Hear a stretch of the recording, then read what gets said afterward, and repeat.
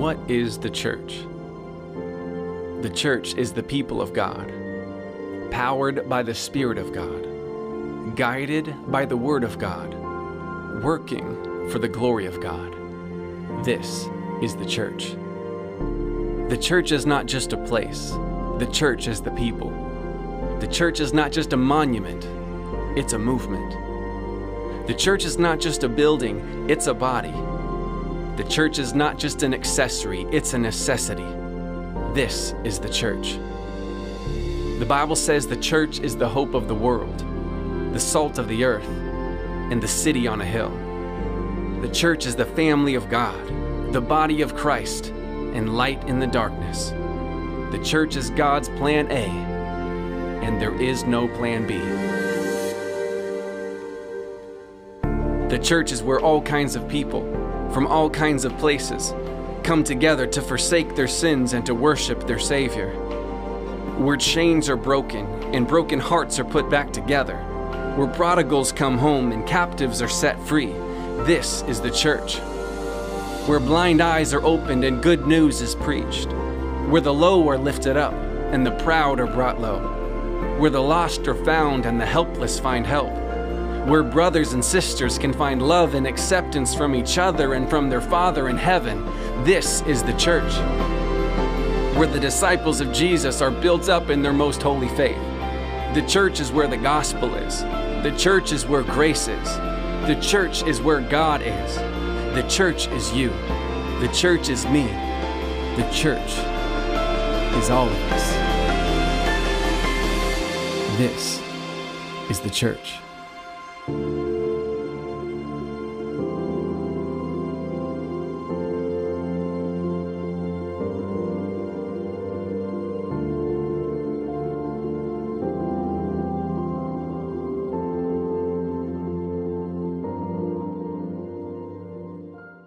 Good morning again to each one of you, and excited that you all are here to worship Jesus with all of us. This is an exciting time, uh, a brand new year. Uh, we're the first Sunday in, so as of right now, you've made it every Sunday in 2024. Amen? All right, it's a good thing. Well, listen, we're doing a brand new series talking about Hope Church Family. And, uh, and we, we brought out that video because we're talking about what the church is, and not just globally, but also locally. And, and we're, we're discussing the fact that the church is an amazing living organism. This is not just some building somewhere, some steeple somewhere. It's alive and it moves to everywhere that we go to. It is God's design. The church belongs to Jesus, not any one pastor or any group of believers. It belongs to Jesus. This is His church. Hope Church NRV is one of many churches in this country, in this state, in this world that worships Jesus, but it is His church, not mine and not yours. We are part of it. So, again, it's not about a physical building, but about the people, the individual people that make up that body. And everybody is different. Um, everybody makes up the church. And although there are individual assemblies and local assemblies, as we call them, local churches, there is this one body that in this one local assembly, you and I all make up its members. And you and I all bring something very special to the mix. But above and beyond even all that, you and I are family. It's different, it's not the same. And we'll, we'll illustrate that in a couple ways a little bit later. But we believe here at Hope Church that the local church is the means by which God is accomplishing his purposes in the world. Followers of Jesus are partic- participants in God's redemptive purposes throughout the church. So, membership is meaningful. We have a covenant partner class. We call it the Family Room. If you've never attended the Family Room, we're going to do one later this month. I encourage you to be part of that. But in that Family Room, there's a packet of information. Some of it's boring, some of it deals with bylaws and things like that. Other parts of it deal with exactly who we are and what we believe. And it deals with where we're going to go and how we're going to serve and how we're going to be part of that. In the very last part of that covenant partnership uh, book, so to speak, it's a small one, but in, in the very end of it, there are a few pages. And in those last couple pages, there are four things, basically, uh, that make us partners with Hope Church and partners of Hope Church. And that's what we're going to be going over the next four weeks, are those things. So we are a family. And as, as Hope Church, we covenant with God and with each other, too. Today is going to be protect the unity, okay? That's the one thing that all of us, if you're wondering, if you've not part of Hope Church yet, if you've taken the class and you haven't signed the document yet, hey, that, that's all right. But, it, but if you're wondering what we believe or what's important to us, and you're wondering where you fit in, here's, here's number one thing protect the unity of who we are and what we stand for and what we're believing in. And so there's going to be three things I'm going to go over today that show how we protect that unity. So, number one, protect the unity by acting in love toward other members. Sounds super simple, right? Let's read 1 Peter chapter 1, verse 22 and 23. It says, Having purified your souls by your obedience to the truth for sincere brotherly love, love one another earnestly from a pure heart since you have been born again, not of perishable seed, but of an imperishable, through the living and abiding Word of God. Now, the context of really what's going on here in 1 Peter is Peter's talking about being holy. You want to be holy like Jesus is holy, and it refers to Leviticus 11 44 and other passages you can go to. Um, but the idea that he gets to here, and he uses the word at the beginning of verse 22, is to purify your souls. Okay? Talking about being holy, that's the connection that brings this in and that brings him to how you purify your souls. Well, you purify your souls with brotherly love. You ever thought about it that way?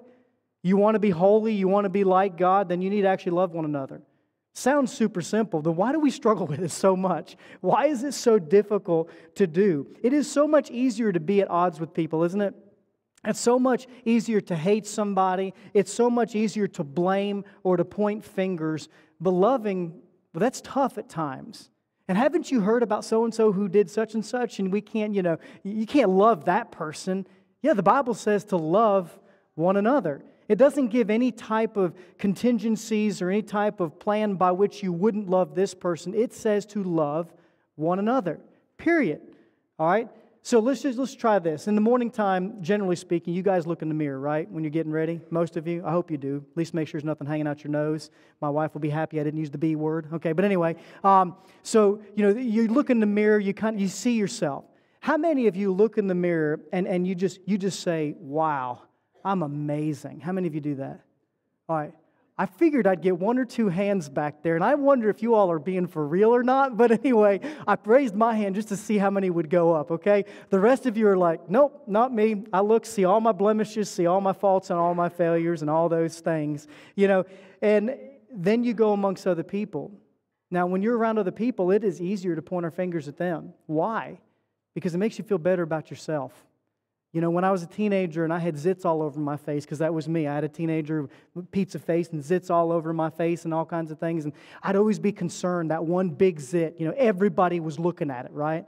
You know, I'd go in a crowd and everybody, and you'd see their eyes, see? And I'd say to myself, see, they're looking right at it right now. I don't even want to be here, you know, is, is what I would say. The truth of the matter is everybody saw my zit and they, and they were happy that they didn't have as many zits as me, so they were cool with it. You know, that's kind of where the truth of the matter was. Um, but they all had their own problems, whether it was their own zits or whether it was their chicken legs or whatever it is. Everybody's got their own thing and their own sets of problems. And we're called to love one another in spite of all of it. Okay? So we're called to love one another no matter how we look, no matter what we've done, no matter where we've been. The Bible, again, doesn't give any type of plan to not love somebody. In the, in the opposite, it says to love one another. And that phrase, love one another, is all throughout the Old Testament and the New Testament. It is all over the place. I think it's almost a hundred times it's used, the one another phrase is used in the New Testament. And I want to say that a third of those references are in reference to loving one another. So, somewhere around 25 to 33 times, somewhere in that ballpark, the Bible says, love one another. You think it's important? I think we hold higher th- other things to high importance and only say things once or twice. Something that says 30 something times, we need to take note of it. Love one another. And then it uses the word earnestly. You know, um, love one another earnestly, the end of verse 22, from a pure heart. That word earnestly simply means zealously, fervently, eagerly. It's just an adverb that attaches to the verb. How do you love one another? Fervently. How do you love one another? Zealously. In other words, you got to try. You got to work at this. It's not easy. To be honest, there are some people that are fairly hard to love. Just going to be honest. And when you look in the mirror, you're looking at one of them, okay? Um, that's the truth of the matter. It's always hard to love somebody else, and there are people that are really tough. But he uses this phrase um, in verse 23 since you have been born again. Now, I find that interesting. Of course, the phrase we understand, the phrase is not literally in the mother's womb again. It's, it's about becoming a new creature in Christ. It's about placing your faith in Jesus. In John 3, you've been born again, all right? But it talks about this not of perishable seed, but of imperishable. Y'all read that? That's interesting because what's happening is it's designating us as part of the family of God. It's an imperishable seed, something that you will have forever. And so, guess what? The Christian that you can't stand the most, that you even wonder whether they're a Christian or not, and that you certainly have a hard time loving, guess what? They're also one of God's children and part of His eternal, everlasting seed, which makes us all what? One big happy family. Well, let me take off one of those words. One big family, okay? That's what it makes us. And the Bible is saying that we need to be a happy one. We need to love one another. All right? That's what it's calling us to do. This family is not like any other family. You know, to be honest with you, you can go to any, most of us, and you can find faults within your own family. If you're married, you probably find faults within your in laws, right? Uh, it's easy to do. It's easy, again, to point fingers, but I'm going to go ahead and point mine right at my own for a second. All right? My family is a complete, absolute mess. My side of the family, all right? For over 15 years, I never talked with my dad. He didn't know I existed, had no idea the fact that I even had a wife, how many kids I had, or what state I lived in. That was my dad. Nine years ago, we rekindled that relationship, and my mom said, Done. So now I haven't seen her in almost 10 years, okay? It's not just my mom, though. It's actually the rest of my family that are really good people. We just don't see each other. My family is non existent. I came down south, became part of this family, and Tammy and Chappie and many others. They took me in like their son. And I've actually got a family now because I have them.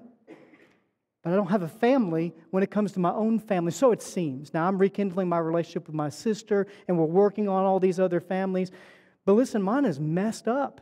They hate one another. There's years of resentment. There's no contact, major grudges. And some of you may be able to relate to having a family member like that or a whole family like that. And I point that out not to say, woe is me and everybody give me a pity party. That's not at all. I point all that out because when I think about a family, I think of all the screw ups and the mess ups and the problems and all this. And God wants me to be a family to you but He doesn't want me to be a family like that. He wants us to be a family like I have with the rest of my in laws in Virginia and the surrounding areas. He wants the family to be even better than that, to actually, really, truly love one another. Work through our problems. When they arise, we deal with them. And we realize that all of us are part of this same family. We all make up sons and daughters of God, and we're in this together. So, why then do we always point our finger and why do we hate? We do it because it's much easier to do that than it is to live in love.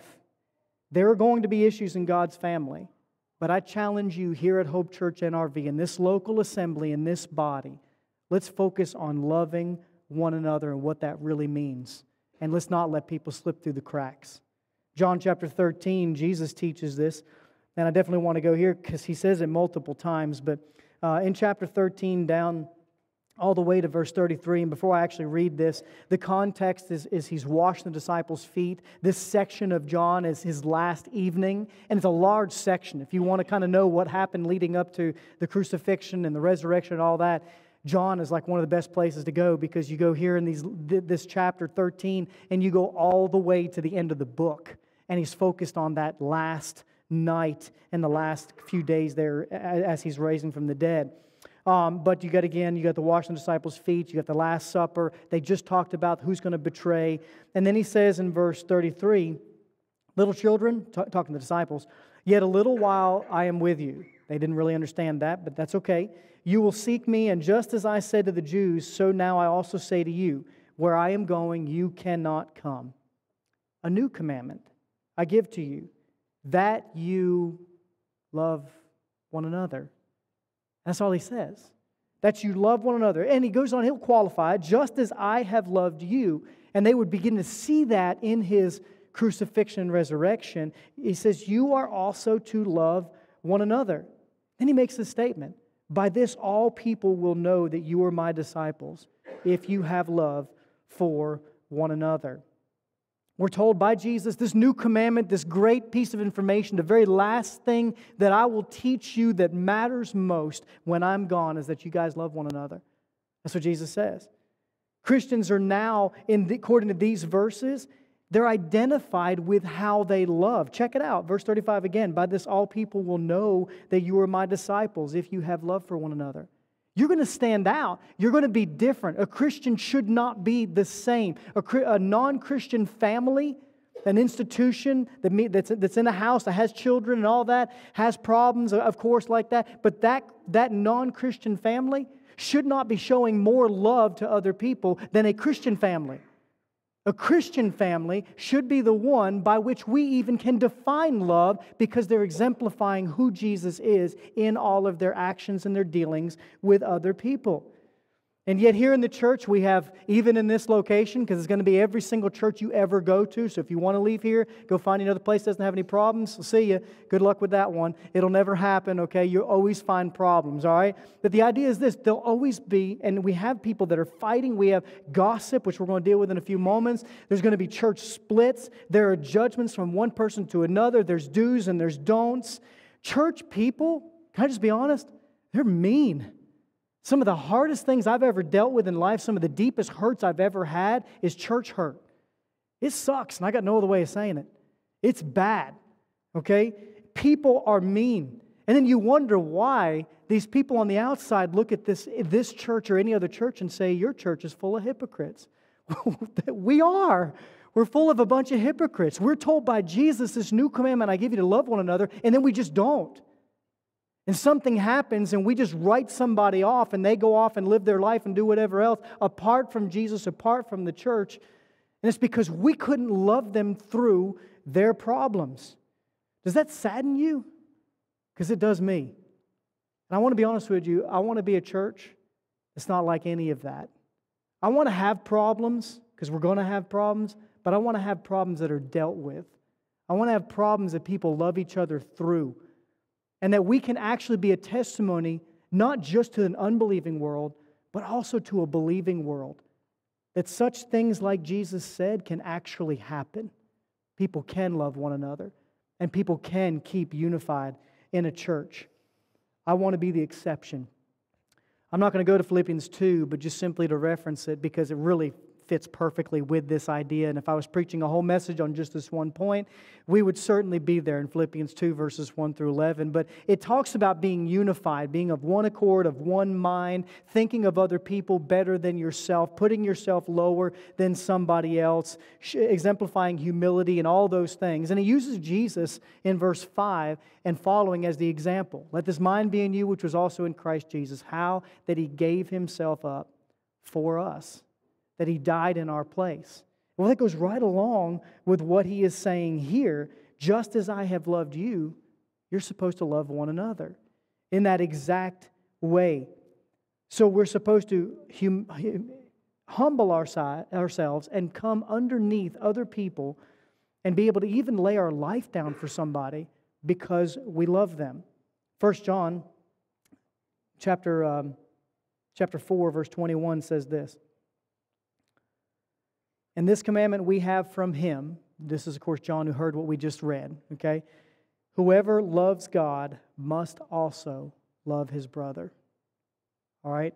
Whoever loves God must also love his brother. In the next section, we'll hit on some verses that might go hand in hand with all of this. But how in the world are we going to sit here and praise Jesus, sing to him, say out loud, put on our Facebook or Instagram post that we love God? And we're not willing to treat our brother well? The Bible says you can't do that. So here's the bottom line don't dare say you love Jesus and are unwilling to love one another. Because if you do that, you're lying to yourself and everybody else who's witnessing it. And the truth is, you really can't love God unless you're willing to love one another. Let that be a way in which we, we look at Hope Church that we're going to protect our unity by doing our best to love one another. We're also going to protect our unity by refusing to gossip. That's the second point here, by refusing to gossip. So I'm going to take you to a few passages in the Old Testament, and specifically to Proverbs, which has all kinds of wisdom and wise things to say. And so it says here in Proverbs chapter 11, verse 13 Whoever goes about slandering reveals secrets, but he who is trustworthy in spirit keeps a thing covered. All right, that's, that's pretty powerful words being said here. Talks about, again, whoever goes about slandering, and that is a word we'll see in the next passage, is oftentimes translated gossip. Um, so whoever goes about gossiping or slandering reveals secrets, but he who is trustworthy in spirit keeps a thing covered. No reason going out to say it to everybody unless you just want to tear somebody apart. All right, chapter 16, um, verse 28 says this A dishonest man spreads strife, and a whisperer separates close friends. Y'all probably already got somebody in mind right now. you probably can think of when this may have even happened to you. It's been done to you, or you've done this to somebody else. You spread strife, and, and between two people who were once close, now they're no longer friends. Why is that? Because of gossip, because of slander. It ruins friendships, it, it destroys people. And can I say, without, without a shadow of a doubt, it kills churches. One of the fastest things to happen is through gossip. All right, I'm going to take you to another passage in Proverbs, Proverbs chapter 26, and we'll land here for just a few moments. It says in verse 20, for lack of wood, the fire goes out, and where there's no whisper, quarreling ceases. As charcoal to hot embers and wood to fire, so is a quarrelsome man for kindling strife. The words of a whisper are like delicious morsels, they go down to the inner parts of the body. I read that exact same verse in another place in Proverbs, so it's, it's important. It says it m- multiple times. But here in verse 20 again, the lack of wood, the fire goes out. Now, you all know me, or at least those of you that have been around here a while, I like fires. I'm kind of a pyro. Um, last time I lit something on fire, I think, I have to admit, unfortunately, it was during a band, and I did not know it was during a band. So that was my bad, okay? Um, my wife's not gonna like I just said that. But anyway, that's what happened, okay? And lo and behold, later I was out doing some things, came back with the four wheeler. I was just gonna make sure everything was good to go. And all of a sudden I look over, and there's this like 40 foot tree that fell down. Why? Because it was an old dead tree that one little, one little piece got over to it and, and, and it lit it on fire and it burned it down. I was kind of hoping for a good forest fire, you know. No, I'm just kidding. Um, but anyhow, uh, it was a bad deal. So I, I, had to go, I went to the creek. I don't know how many five gallon buckets of water I got to put that tree out, um, but, but went and got it and everything was good to go. No more thing. I did destroy two of my lawn chairs, though. They were going to go in a fire one day. They're gone now. Um, so anyway, it has nothing to do with the sermon, um, except for the fact there's a lack of wood, okay? The lack of wood, the fire goes out, all right? If you don't have any wood, you know, the fire's going to go away, okay? But where there's no whisper, the quarreling ceases. Where there's no one who gossips, the infighting stops. When there's nobody to slander, there seems to be no more problems. You see that? Proverb, I love the Proverbs. Sometimes the, the word pictures and the, the pictures that are given are so clear. Listen, if you don't have wood, you don't have a fire. If you don't have gossip, you don't have fighting and infighting and quarreling and slander and all those kind of things as well. It kind of reminds me um, when I was in high school years ago, and, and, some of you may have heard the story, but had a friend named Vincent. Uh, Vincent Gonzalez, okay? I, I, love the kid, all right? he's not a kid anymore. But um, really cool guy. He was, uh, I believe, from Spain or Portugal, that area. And um, anyway, long story short, he was picked on unlike anybody else. Um, everybody liked to pick on Vincent. He had this really, really big black hair, and, and the hair was um, kind of like Einstein. And the funny part was, Vincent was as smart as Einstein. I mean, so he got picked on so much for that. The other thing is, he didn't help matters because when you walk up to somebody and you do this, and then you put it in their face like this, I'm just, like that's just not cool. Anybody does that, can I just help you out? Just don't walk up to your friends in high school and think that this is going to get you anywhere. Star Trek, yeah, look at me, okay? It doesn't get you anywhere. It doesn't help you with your friends, all right? And so I try to tell Vincent that, but it was to deaf ears when it came to that. He was huge Trek fan, okay, and all this stuff. But what ended up happening was many times these people would pick on him, and Vincent would grab that huge lock of hair and he would just pull, and he'd scream and he'd shout And he gave such a reaction that what do you think all the high school kids did? Continue to pick on him because they watch Vincent pull his hair out. That's pretty cool, you know? Here's the bottom line they'd get a reaction. And when they get a reaction, they'd keep on doing it. I end up telling Vincent one day, Vincent, you just need to ignore it, man. Um, don't, don't give in to what they're doing. And he tried, and sometimes it got better, and then I think he went back to pulling his hair. Um, but anyway, you know, not to give a reaction. But we don't need to even focus on that if one, we're willing to love one another, and two, we're willing not to talk bad about other people. And so this goes right along, very close right along with James chapter 3, which deals with the, the whole idea of a bridle. A small bridle controls a horse, and it goes along with a, a ship, just a rudder. That little small rudder on a ship indicates which direction the ship goes. And then James teaches that the same thing with our tongue. That little tiny tongue, as small of a member as it is, you compare it to like your thigh, you know, as far as the muscle is concerned. Your thigh is so much bigger than your tongue. But yet the, the tongue controls everything about you, James is teaching. And so I actually want to go there and read that. It says um, in James, we'll go chapter 3 and look at verse 5, just a starting place. So also the tongue is a small member, yet it boasts of great things. How great a forest is set ablaze by such a small fire. See the connection there that you can kind of go back into, into Proverbs? The tongue is a fire, a world of unrighteousness. The tongue is set among our members, staining the whole body, setting on fire the entire course of life, and set on fire by hell. Oh my goodness. We just got like really deep, really fast, didn't we? The tongue's a bad deal, okay? Controlled by ourselves, understand that. But as we go on, it says, Every kind of beast and bird, of reptile and sea creature can be tamed and has been tamed by mankind, but no human being can tame the tongue. It is a restless evil full of deadly poison. Man, those are some words. Have you ever had poison come out your mouth? You don't have to answer that out loud. You don't have to raise your hand. I just want you to think. Has poison ever come out your mouth? Well, let me rephrase it. Has it come out your mouth in the last two weeks?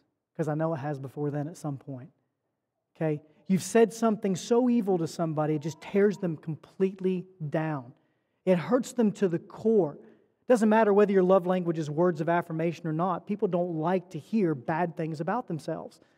And yet we do it and we spit it out, maybe because it makes us feel better at the moment or because we want to get back at somebody or because we're just so angry and we can justify it so many ways. That tongue can absolutely kill somebody. We have to realize this. It goes on to say, with it, talking about the tongue, verse 9, we bless our Lord and Father, and with it, we curse people who are made in the likeness of God. How, did, how do you do that? We're made in God's image.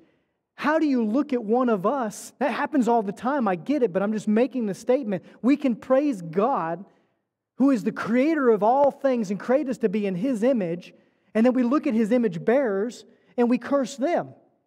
Why does that happen? It shouldn't happen, is the idea. From the same mouth come blessings and cursings, my brothers. These things ought not to be so. So let's kind of really hone in on gossip for a second. What is gossip? Talking about somebody when they're not present? That's normally the definition that's given. They're not around, you're talking about them, you must be gossiping. I'm here to say, no, that's not gossip, okay? Why? Because bosses are going to discuss employees. Is that gossip? You think the boss is really trying to slander their employee? No, they might be looking at their job performance or taking a look at the raise that they're going to give them. Talking about them is not a bad thing. Two friends talking about another friend's problem. You think that's gossip?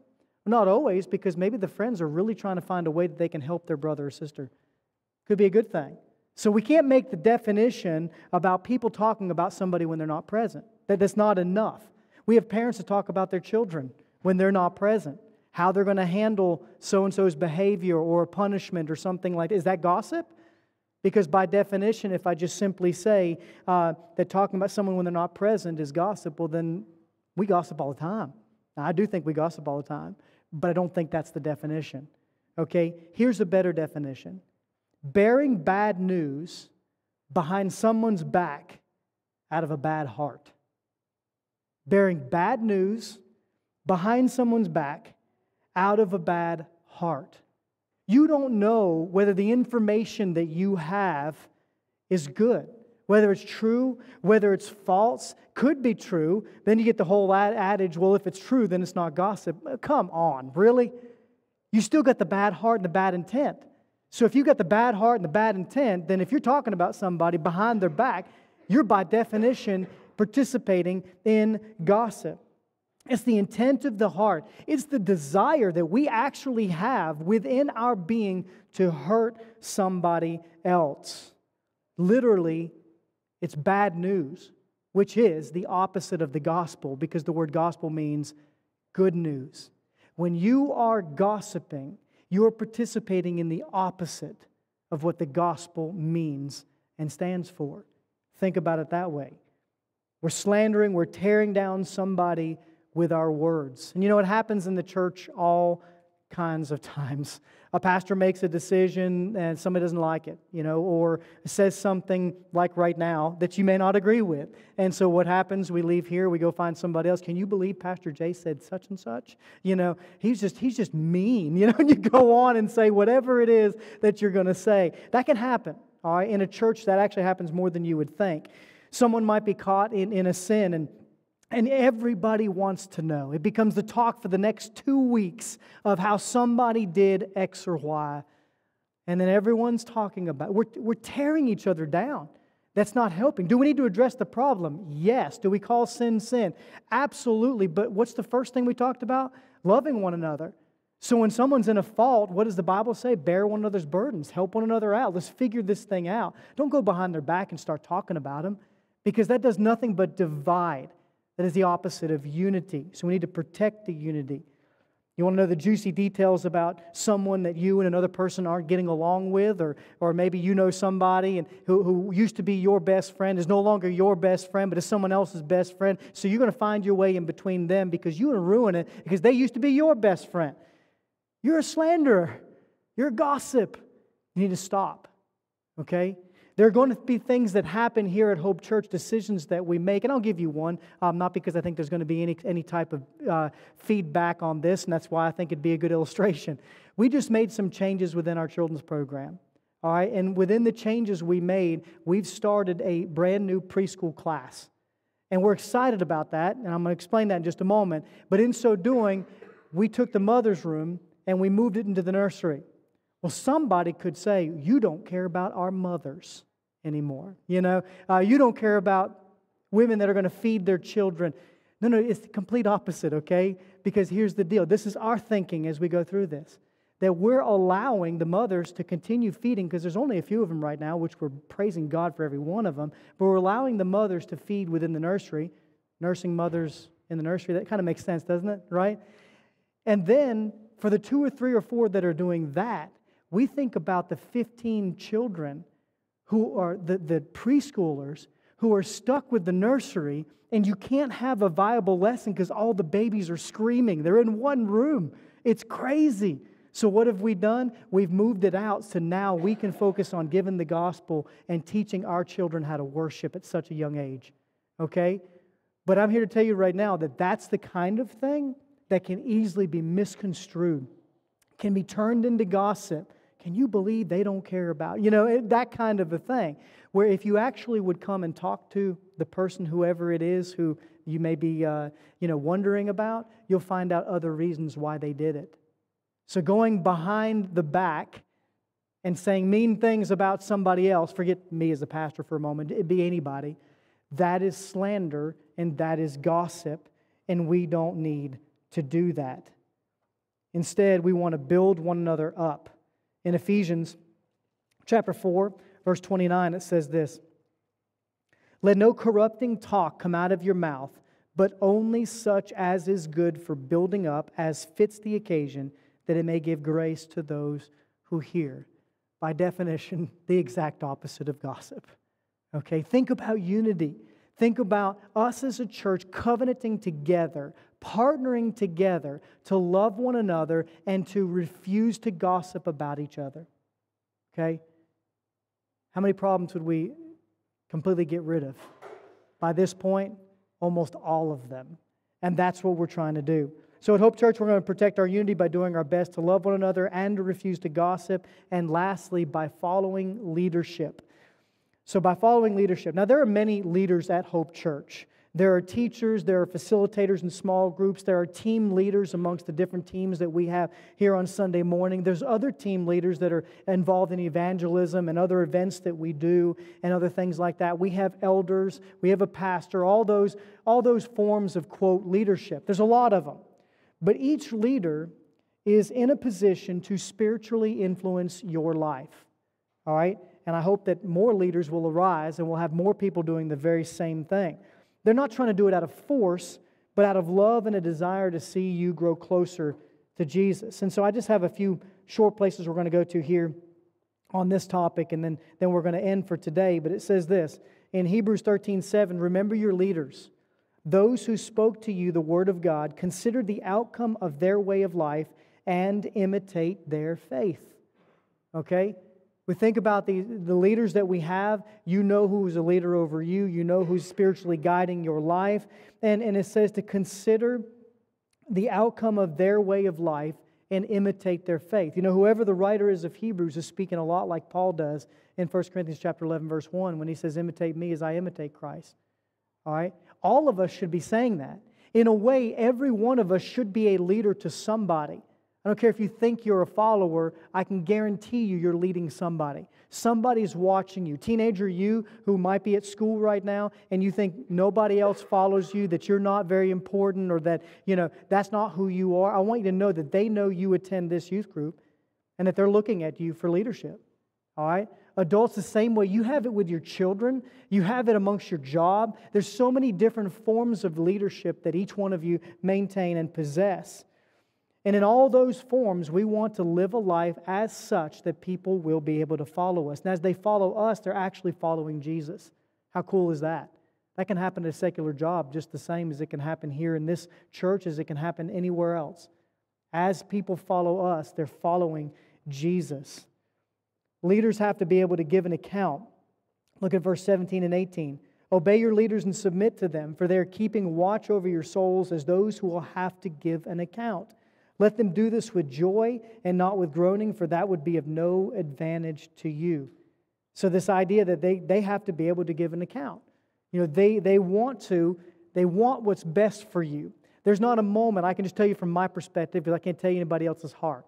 I know from my perspective as the pastor of this church that hands down, I want every one of you to go closer to Jesus. I don't want any of you to act like me where I'm not acting like Jesus. But if I can do something like Jesus, I want you to act like me okay? I want to be able to exemplify that to you. I want you to live a life where you grow closer to Jesus, where worship is more real to you, where Jesus is more real to you than ever before, and I want you to have a relationship with Him unlike you've ever had. That is my heart.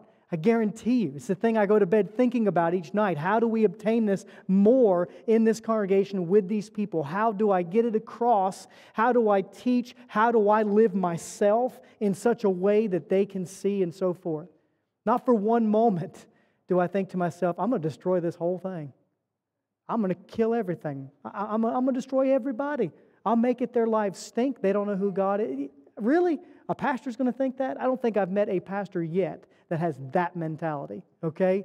And so I don't care how bad they are speaking, I don't care how bad they are leading. I can tell you one thing all the pastors that I've been privileged to know at least want you to know Jesus better.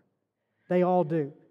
Every leader of any ministry of any sort wants you to be in a place where your faith grows. Why? Because leaders have to give an account.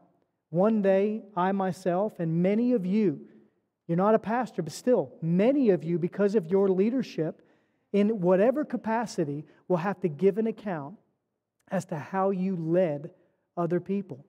This new preschool ministry has a teacher in there teaching without the noise of the nursery right now and she will have to give an account for how well she leads those children.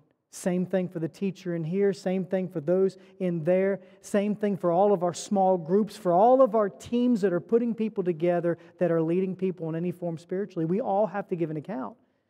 And every one of us here, to some degree, whether you have a team beneath you or not, will have to give an account to what you've done and how you've led. And so it says, Let them do this with joy, not with groaning, for that would be of no advantage to you. And then verse 18, pray for us, for we are sure that we have a clear conscience, desiring to act honorably in all things. In all things, that is. So pray for your leaders. Romans chapter 14, in closing, says this. And I'll go to chapter 14 and verse 19, where it says, So then, after all these things, let us pursue what makes for peace and for mutual upbuilding. At Hope Church, we want peace. We want unity. We want to be able to love one another through any of our problems, any of our difficulties. We want to be able to refuse to gossip, and we want to be able to follow the leadership as the leadership follows Jesus. Let's pray. Father, we thank you for this day and for all you've done. We pray that you would work in a mighty way and just help us as we lead people.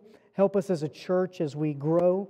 And, uh, and Lord, help us to be able to do some of these things. Loving one another is not easy, it's, it can be tough, it can be very difficult.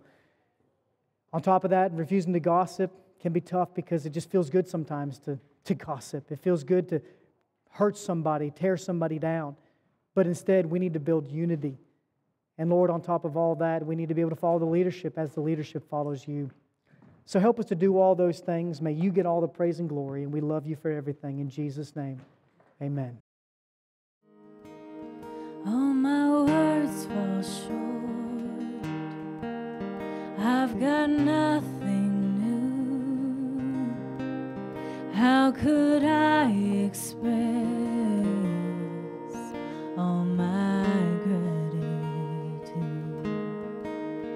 I could sing these songs as I often do. But every song